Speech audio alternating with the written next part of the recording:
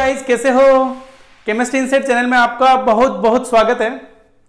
और आज अपन पढ़ने जा रहे हैं पी ब्लॉक एलिमेंट्स और उसके अंदर जो डिस्कस करने वाले हैं वो है group 15 elements means nitrogen family तो बात करते हैं इसकी। हाँ थोड़ा सा मैं बोलूँ इसके लिए कि ये टॉपिक पता नहीं बच्चों को क्यों इतना हार्ड लगता है। आज उस हार्ड को बड़ा इजी करने जा रहे हैं। तो कंसंट्रेशन बना के रखिएगा, क्योंकि ये टॉपिक क्या करेंगे बस साथ के साथ पढ़ेंगे और उसको याद करते हुए चलेंगे। ठीक है? तो बात करते हैं। ग्रुप 15 एलिमेंट्स के अंदर कौन कौन से होते हैं? Nitrogen, phosphorus, arsenic, antimony bismuth और MC this is the moscovium ठीक है? जो ये नाइट्रोजन और फोस्फोरस है, वो कौन से होते हैं? नॉन मेटल्स होते हैं। कौन से होते हैं जी? नॉन मेटल्स होते हैं। ए एस और एस भी कौन से होते हैं? मेटलोइड्स होते हैं। और ये कौन से होते हैं? मेटल्स होते हैं आपके। कौन से? बिस्मित और एनसी जो मोस्कोवियम है, वो क्या है? सिंथेटिक रेडियो एक्टिव एलिमेंट है। ये आपको याद रखना है। ठीक है?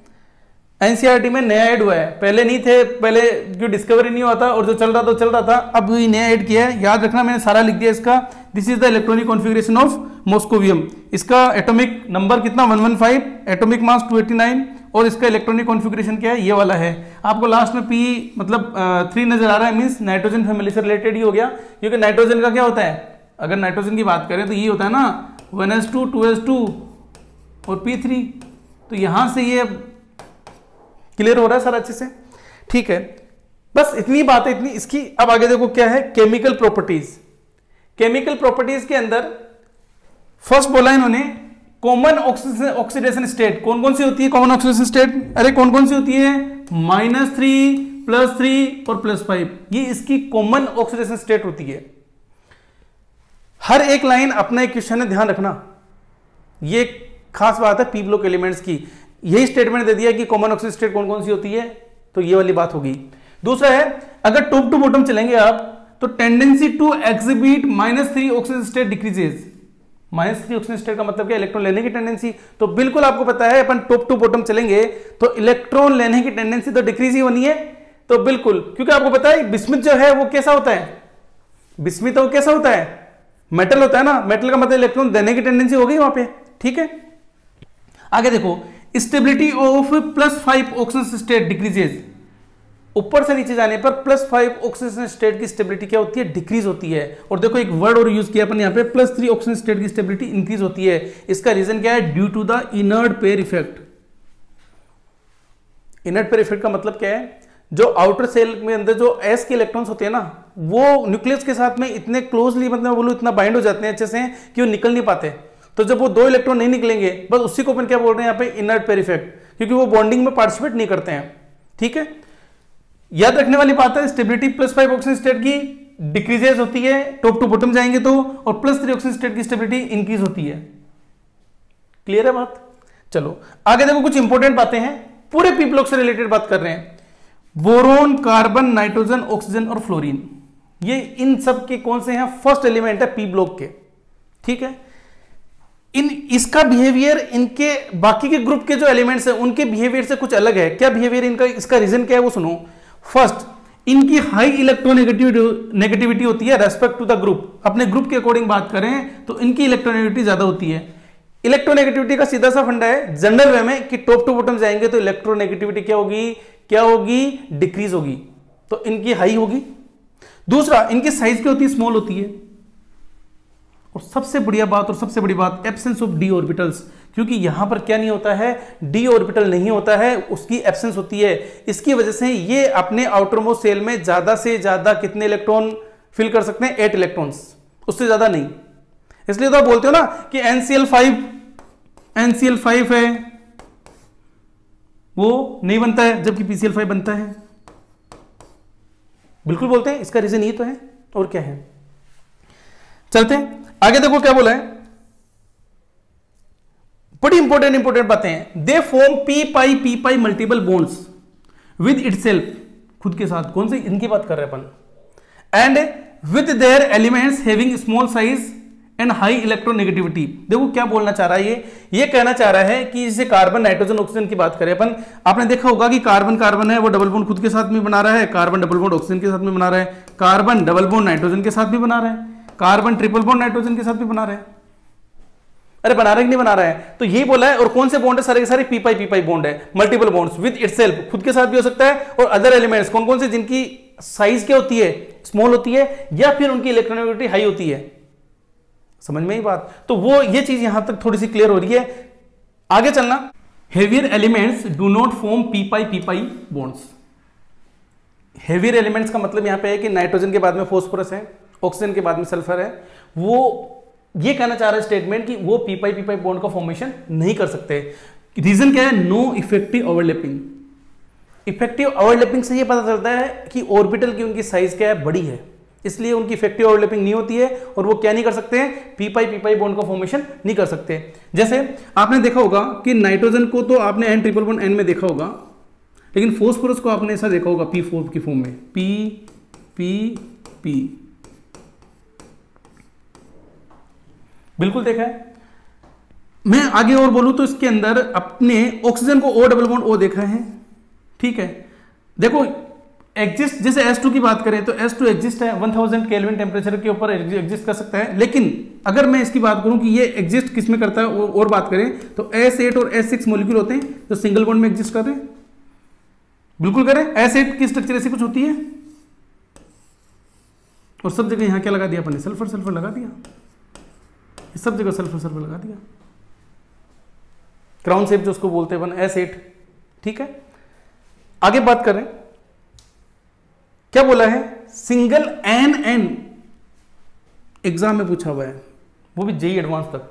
Single N N bond is weaker than the single P P bond because of high inter electronic repulsion of non bonding electrons क्या कहना चाह रहा है कि जो नाइट्रोजन नाइट्रोजन है, उसका सिंगल बॉन्ड है, उसकी सिंगल बॉन्ड है, वो क्या है? वीक है कंपेयर टू द पीपी क्योंकि यहाँ जो ये इंटर इलेक्ट्रॉनिक रिपल्सन है बॉन्ड की लेंथ छोटी है इंटर इलेक्ट्रॉनिक रिपल्सन ज़्यादा हो रहा है। और रिपल्सन ज़्यादा हो रहा है तो इसका मतलब ये बॉन्ड इजीली ब्रेक होना चाह रहा है। इसलिए ये क्या हो गया? वीकर बॉन्ड वीकर हो गया देन द पीपी सिंगल की बात करिए ट्रिपल की बात नहीं करिए। आगे क्या बोला है? Nitrogen can not form d pi p pi bond ये कह रहा है कि नाइट्रोजन है, वो कौन सा बॉन्ड का फॉर्मेशन नहीं करता है? डी पाई पी पाई का। आपने देखा होगा कि ये नाइट्रोजन है। वैसे भी आपको पता है कि टेन इलेक्ट्रॉन हो गए तो कैसे पार्टिसिपेट करेगा? Due to the absence of d orbitals ठीक है? तो ये वाला फॉर्मेशन नहीं होता, लेकिन फोस्फोरस के केस में, और आपने ये सबको देखा होगा अच्छे से कोई दिक्कत ही नहीं है। बिल्कुल, ठीक है? आगे बात करें।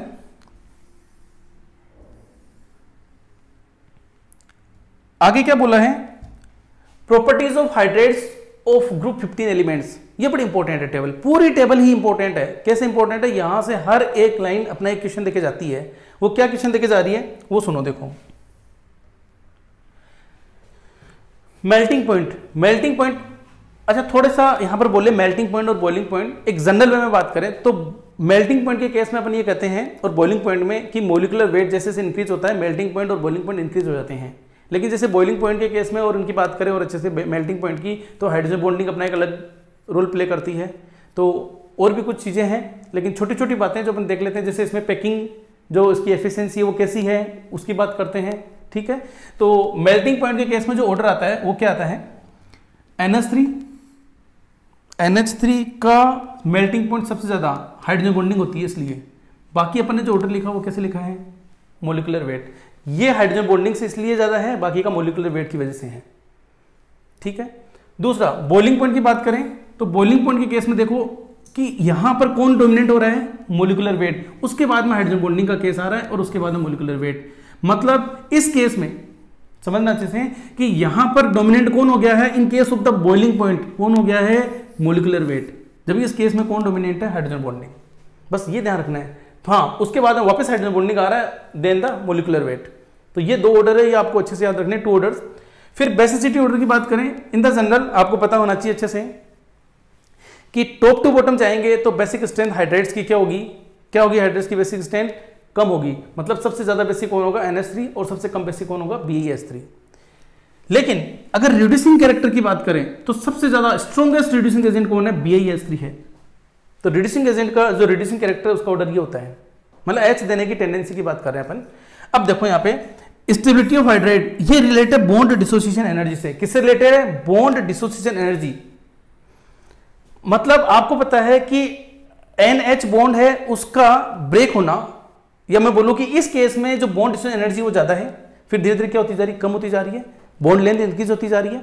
इस केस की बात करें कि स्टेबिलिटी तो सही बात है, जिसकी बॉन्ड डिसोसिएशन एनर्जी ज़्यादा होगी, उस केस में उसके हाइड्राइड की स्टेबिलिटी भी क्या होगी? ज़्यादा होगी। यह भी बड़ा इंपॉर्टेंट है यह भी पूछा हुआ एग्ज़ाम में भाई पूछेंगे क्या एग्ज़ाम में? क्वेश्चन क्या दे दिया? कि which of the following is correct for the stability of hydrates four चार ऑर्डर दे दिए, इसी को आगे पीछे कर दिया, कौन सा होगा? तो अपने आप में इंपॉर्टेंट हो गया? बिल्कुल इंपॉर्टेंट हो गया। कहीं कोई दिक्कत नहीं है। चलते आगे। सबसे पहले अपन क्या डिस्कस करने जा रहे हैं? डाई नाइट्रोजन नाइट्रोजन गैस की बात कर रहे हैं। अब देखो इसके अंदर क्या है। जनरल मेथड ऑफ़ प्रिपरेशन की बात करें तो इसमें जो एक लैब मेथड है, वो क्या है?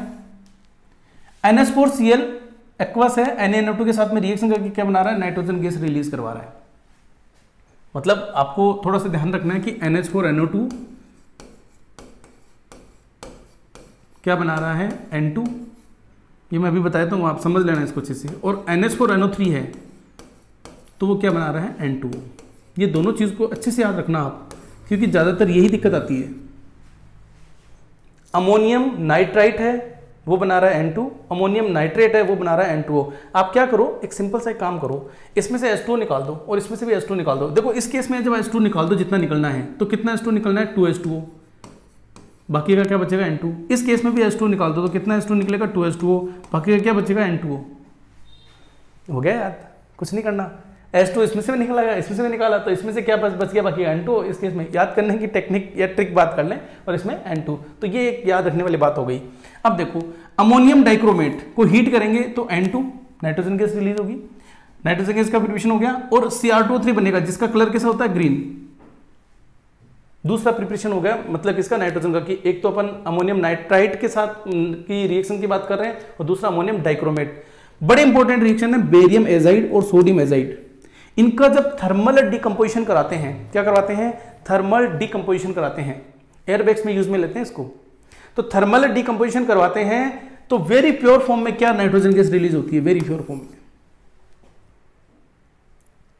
ये बड़ी इंपॉर्टेंट चीज़ हो गई यहाँ पे कि वेरी प्योर प्योर फॉर्म में नाइट्रोजन गैस आपको चारों दे रखा है या तीन दे दिया और इनमें से पूछ लिया कि किसमें वेरी प्योर फॉर्म में नाइट्रोजन गैस का रिलीज़ हो रहा है तो इनमें हो रही है। किसमें? बेरियम एजाइड और सोडियम एजाइड के केस में। इनमें प्योर फॉर्म में नहीं हो रही है। ठीक है जी बात? देखो, यहाँ एक छोटा सा क्वेश्चन है, क्या है? Why is N two is less reactive at room temperature इन्होंने एक छोटा सा क्वेश्चन ये कर लिया है कि N2 है, वो लेस रिएक्टिव क्यों है? रूम टेम्परेचर पे। तो आपको पता है कि N जो ट्रिपल बॉन्ड N है, उसकी बॉन्ड जो डिसोसिएशन एनर्जी है 941 की बात करें अपन तो उस केस के अंदर ये एनर्जी ज़्यादा है, इसलिए लेस रिएक्टिव है। ठीक है? आगे है अमोनिया सबसे पहले अमोनिया के बारे में क्या क्या चीज़ें हैं, वो देख लेते हैं। फ़र्स्ट अमोनिया में किस इसका जनरल मेथड ऑफ़ प्रिपरेशन क्या क्या है? तो अमोनिया में क्या कर रहे हैं? यूरिया। यूरिया की बात कर रहे हैं, उसका अपन क्या करवा रहे हैं? अगर वाटर के साथ में इसकी रिएक्शन करवा दें तो क्या बनेगा? अमोनियम कार्बोनेट बनेगा। और आपको पता है, अमोनियम कार्बोनेट आगे किसमें टूट जाएगा? अमोनिया और एस टू में। और एस टू सी थ्री किसमें टूट जाएगा? एस टू और टू में। ठीक है? अमोनिया का रिलीज़ हो गया यहाँ पे। एन की रिएक्शन किससे करा रहे हैं? किसी बेस के साथ। देखो, ये क्या है? एक तरीके से देखा जाए सोल्ट है। तो सोल्ट की रिएक्शन किससे करा रहे हैं अपन? किसी बेस के साथ में। तो होगा क्या यहाँ पे? और होगा क्या? यहाँ से ये एस को निकाल लेगा। जब एस निकालेगा तो बाकी का बचेगा क्या? अमोनिया। एस निकाल के क्या बना लेगा? सी देखो, इसमें भी यही हो रहा है। एन क्या कर रहा है? यहाँ से एस को बाहर निकाल रहा है, एक तरीके से। उसके साथ रिएक्शन करके क्या बना रहा है? एन टू बच के गया अमोनिया। तो कोई दिक्कत नहीं। स्मॉल स्केल पे अपन अमोनिया का प्रिपरेशन कुछ ऐसे करते हैं। बिल्कुल समझ में आ रही है बात?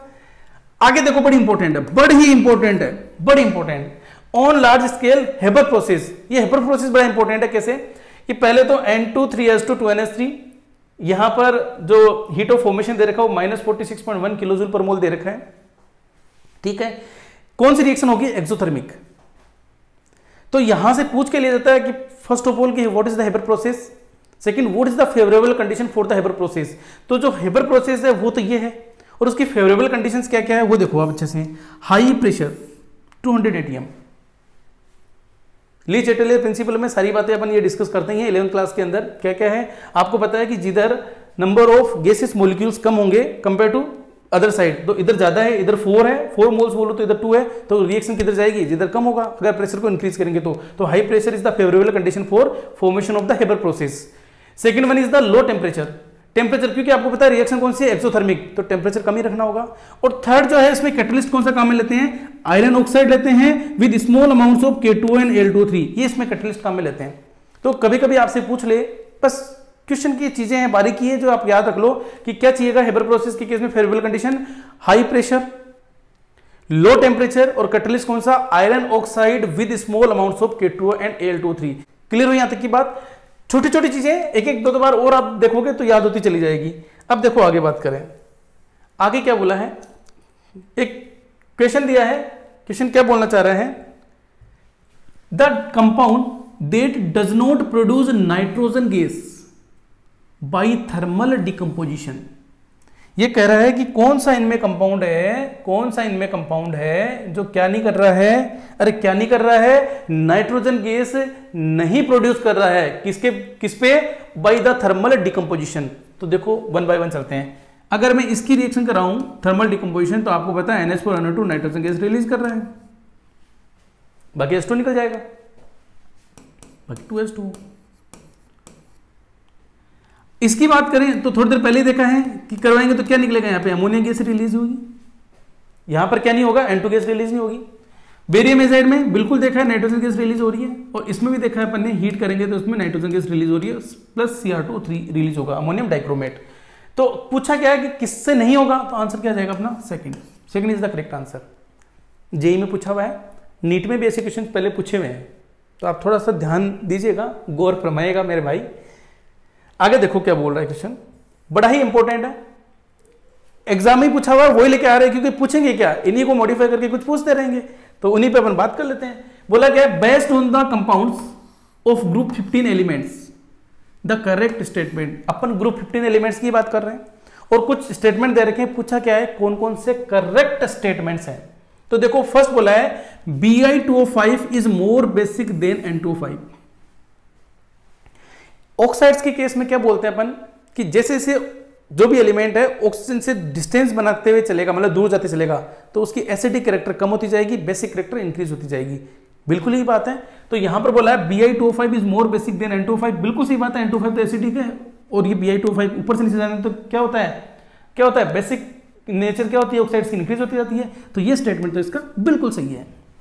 सेकंड बोला है N F three is more covalent than B I F three तो बिल्कुल सही बात है, देखो बी है बी है क्या? मेटल है। तो एक तरीके से यहाँ जो बॉन्डिंग है बी है, इसकी इलेक्ट्रोनेगेटिविटी कम है। जबकि इस केस में क्या, इनकी इलेक्ट्रोनेगेटिविटी नाइट्रोजन की ज़्यादा है। Means this is the more covalent than the B बिल्कुल सही बात है यह भी कोई दिक्कत नहीं है। फिर कह रहा है P S three boils at lower temperature than N S three बिल्कुल, आपको थोड़ी देर पहले अपन ने देखा था कि बॉइलिंग पॉइंट है, वो अमोनिया का ज़्यादा है compare to the P S three तो अमोनिया का ज़्यादा है तो पीएच थ्री का बॉइलिंग पॉइंट क्या हो गया? कम तो लोअर टेम्परेचर पे क्या हो जाएगा ये? बॉइल्स हो जाएगा। तो ये बात भी ठीक है। डी कह रहा है the N N single bond is stronger than the PP single bond नहीं। N N single bond is weaker compare to the PP आपको पता है, यहाँ पर इलेक्ट्रॉनिक रिपल्सन होता है। समझ में आ रही बात? थोड़ी देर पहले डिस्कस किया था। मतलब ये स्टेटमेंट अपना क्या हो गया यहाँ पे? रॉन्ग हो गया। तो क्वेश्चन के अकॉर्डिंग कौन कौन से स्टेटमेंट सही है? एबीसी मतलब ये मोर देन वन करेक्ट में, वैसे दिया भी इधर, इससे थोड़ा सा समझ लेते हैं अपन। बाकी आपको तो यहाँ पर कॉन्सेप्ट को बिल्ड करना है तो ये कॉन्सेप्ट को अपन इस तरीके से यहाँ पे बिल्ड कर सकते हैं। चलते हैं आगे। आगे की बात करें तो आगे क्या है? ऑक्साइड्स ऑफ़ नाइट्रोजन अपने यहाँ बात करिए नाइट्रोजन के ऑक्साइड्स की तो कौन कौन से ऑक्साइड्स है, उनकी क्या क्या इंपॉर्टेंट चीज़ें हैं, वो अपन डिस्कस करते हुए चल रहे हैं। तो पहले तो आपको पता है कि एन कितने ऑक्साइड्स की अपन यहाँ बातें करी है, जो सारे अपन ने जो डिस्कस किया है। वो क्या क्या है? N two O N O N two O three N O two N two O four और एन टू फाइव ये सारे ऑक्साइड्स हैं। जो भी ये टेबल बनाई है, मैंने एनसीआरटी से ही बनाई है। एनसीआरटी के अंदर दे रखी है, बस वहाँ से क्वेश्चन किस तरीके से आता है, वो देखो अपन डिस्कस करें। तो सबसे पहले अपन ऑक्साइड्स ऑफ़ नाइट्रोजन में एन की बात कर रहे हैं। एन को बोलते हैं नाइट्रस ऑक्साइड अब तो पता है लाफिंग गैस होती है नाइट्रस मतलब हंस, ठीक है? तो नाइट्रस ऑक्साइड इसकी स्ट्रक्चर क्या? N double N triple one N और ये ऑक्सीजन को अपना लोन पे दे रहा है। Ammonium nitrite sorry ammonium nitrate को हीट करेंगे तो एन बनेगा। बिल्कुल बनेगा, कहीं कोई दिक्कत नहीं है। एनओ इसको बोलते हैं नाइट्रिक ऑक्साइड आपको पता है, ये दोनों के दोनों कैसे हैं? न्यूट्रल ऑक्साइड्स हैं। बाकी के जितने भी ऑक्साइड्स हैं, सारे के सारे एसिडिक ऑक्साइड्स हैं इसके। ठीक है? ये कैसे बनाते हैं अपन? NaNO2 की रिएक्शन किससे करा रहे हैं? FeSO4 in the presence of H2SO4 समझना वैसा बच्चे से? ये क्या है यहाँ पे एफ़ ई कौन सी फॉर्म में है? एफ़ ई कौन सी फॉर्म में है? प्लस टू की फॉर्म में है। और ये एनओ टू माइनस यहाँ एफ़ ई किस फॉर्म में चला गया है? एफ़ ई प्लस थ्री की फॉर्म में। मतलब कौन सी रिएक्शन हो गई है ऑक्सीडेशन रिएक्शन एफ़ ई का यहाँ पे क्या हो गया है? ऑक्सीडेशन और एनओ टू में नाइट्रोजन का क्या हो गया यहाँ पे? रिडक्शन हो गया है। तो याद रह जाएगी, कोई दिक्कत नहीं है। एनओ का कैसे? हालाँकि जनरली ये नहीं पूछा जाता है। ये बड़ी इंपॉर्टेंट चीज़ है। बाकी का तो आगे जो पढ़ रहे हैं अपन, आगे, वो बड़ा इंपॉर्टेंट है। आगे एन टू ओ थ्री सबसे बढ़िया खास बात तो एन टू थ्री क्या है? ये कैसा सोलिड होता है? N two three blue solid याद रखना इस बात को। कैसा सोलिड है ये? ब्लू सोलिड मैंने लिखने की कोशिश करी ब्लू सोलिड थोड़ा सा दिख नहीं रहा होगा विजिबल कम होगा, लेकिन ठीक है, आप थोड़ा सा देखिएगा, ये ब्लू सोलिड है। कैसे बनाते हैं? अच्छा स्ट्रक्चर इसकी ये होती है एन एन डायरेक्ट बॉन्ड होता है। ये एग्ज़ाम में काफ़ी बार पूछे हुए सब क्वेश्चन एनओ की रिएक्शन एन टू फोर से कराते हैं टू फिफ्टी केल्विन पे तो क्या बना रहा है? एन टू थ्री बना रहा है। बात करें एनओ टू की तो एनओ टू के अंदर क्या प्रेजेंट है? क्या प्रेजेंट है? अनपेड इलेक्ट्रॉन ठीक है? अच्छा अनपेड इलेक्ट्रॉन है तो कैसा बिहेव करेगा ये? अरे, कैसा बिहेव करेगा? अनपेड का मतलब डायमैग्नेटिक या पैरामैग्नेटिक डायमैग्नेटिक या पैरामैग्नेटिक अरे, बोलो पैरामैग्नेटिक तो ये कैसा होता है? पैरामैग्नेटिक ये भी बात आपको ध्यान में रखनी है। क्या है? लेड नाइट्रेट को हीट करा रहे हैं अपन तो किसका रिलीज़ क्या रिलीज़ हो रहा है? एनओ फिर ये रिएक्शन भी मैंने अभी इससे पहले कुछ क्वेश्चंस कराए थे जो जेई में पूछे हुए थे तो सोडियम की रिएक्शन एन टू फाइव से कराते हैं तो क्या बनता है? एन थ्री और एनओ मैंने बताया था कि एक्चुअली क्या एन टू फाइव जो एग्जिस्ट करता है सोलिड फॉर्म में, वो एनओ और एनओ टू पॉजिटिव में करता है। तो ये सोडियम से इलेक्ट्रॉन लेके तो एनओ गैस रिलीज़ करवा देगा, और एनओ थ्री क्या बना लेगा? एन थ्री और ये कौन सी गैस होती है? ब्राउन गैस कभी कभी पूछ लिया जाता है कि एनओ कौन सी गैस है? ब्राउन गैस है। ठीक है? चलो आगे। N24 को आप डायरेक्ट याद रख लेंगे कि N24 की स्ट्रक्चर तो ये होती है एन एन डायरेक्ट बॉन्ड है, ठीक है? हाँ इस केस में देखो एनओ टू है, वो कूल करेंगे तो N24 में चेंज हो जाएगा और हीट करेंगे वापस तो ये एनओ टू में चेंज हो जाएगा। मतलब एनओ टू यहाँ पर कैसा है? पैरामैग्नेटिक और N24 कैसा है? डायमैग्नेटिक ठीक है? क्योंकि यहाँ पर अनपेड इलेक्ट्रॉन प्रेजेंट है, यहाँ पर अनपेड इलेक्ट्रॉन क्या हो गया? डाइमराइजेशन होकर के खत्म हो गया वो, ठीक है? N25 N N bond present नहीं है। आपसे बोले कि यहाँ पर ऑक्सो ब्रीजिंग तो बिल्कुल ऑक्सो ब्रीजिंग आ रही है। एनओ एन बॉन्ड प्रेजेंट है, पहली चीज़। दूसरी एचएनओ थ्री की रिएक्शन पी फोर के साथ कराते हैं। ये भी आपका जही एडवांस में पूछा हुआ है। देखो, कर क्या रहे वो ये वाली रिएक्शन उठाई, यहाँ से ये वाली रिएक्शन उठाई, बना दिए क्वेश्चन ये करते हो क्या करते हैं? तो ये बड़ा इंपॉर्टेंट है, याद रखना एच एन थ्री की रिएक्शन पी फोर के साथ कराएँगे तो क्या बनेगा? N two O five and H P O three बनेगा। क्लियर है यहाँ तक की बात? तो ये तो थे अपने नाइट्रोजन के ऑक्साइड्स देखो, केवल अपन जो डिस्कस कर रहे हैं, वो केवल एक रिवीजन की फॉर्म में डिस्कस करेंगे आपको रिवाइज हो जाए, एक बार आप देखोगे तो आपको याद होने लग जाएगी चीज़ें, ठीक है? अब अपन इसके आगे क्या पढ़ने वाले हैं? नाइट्रिक एसिड क्या होता है? उसकी रिलेटेड बहुत अच्छी अच्छी रिएक्शन है, वो डिस्कस करेंगे। सारे के सारे जो भी अपने ऑक्सो एसिड्स हैं नाइट्रोजन और फोस्फोरस जो फोस्फोरस वाले, उनको अपन आगे डिस्कस करेंगे नाइट्रोजन फैमिली में, फिर अपन आगे की बात करेंगे। Okay thank you for watching